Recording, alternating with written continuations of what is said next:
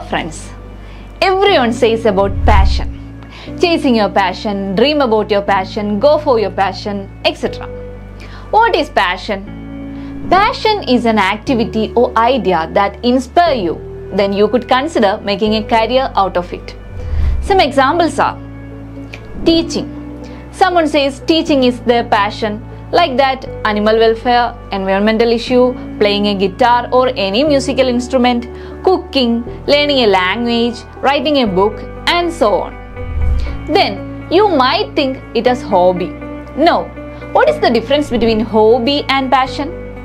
Hobby is just a time pass, but passion is something you won't keep a time constraint. Do you know how to know your passion? Here are some parameters. Look for the high points in your day. Pay attention to what you spend as time and money. Then, yeah, obviously, topics you are discussing often with your peer. Then, reaching out to possible mentors, that is, like hero image to some personalities in your life. Example, respect towards uniformed police officers, etc.